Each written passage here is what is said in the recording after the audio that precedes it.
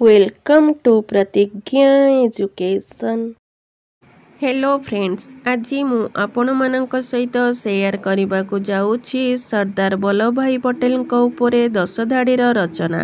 ତେବେ ଚାଲନ୍ତୁ ଆଉ ଡେରି ନକରି ଏଥର ଭିଡ଼ିଓଟିକୁ ଆରମ୍ଭ କରିବା।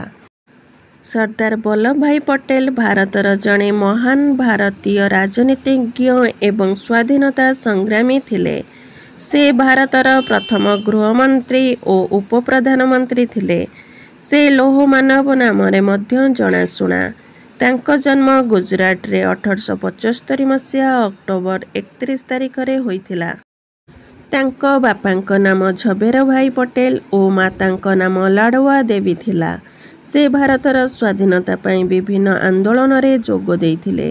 ସ୍ୱାଧୀନତା ପରେ ଭାରତକୁ ଏକଜୁଟ କରିବା ପାଇଁ ସେ ମହତ୍ତ୍ୱପୂର୍ଣ୍ଣ ଭୂମିକା ନେଇଥିଲେ। ସର୍ଦ୍ଦାର ବଲ୍ଲଭଭାଇ ପଟେଲଙ୍କୁ ଉଣେଇଶ ଶହ ଏକାବନ ମସିହାରେ ଭାରତ ରତ୍ନ ସମ୍ମାନରେ ସମ୍ମାନିତ କରାଯାଇଥିଲା।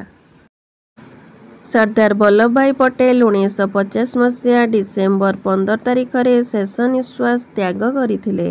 ତାଙ୍କ ଜନ୍ମଦିନ ଅକ୍ଟୋବର ଏକତିରିଶ ତାରିଖକୁ ପ୍ରତିବର୍ଷ ଏକତା ଦିବସ ରୂପେ ପାଳନ କରାଯାଏ। Thanks for watching.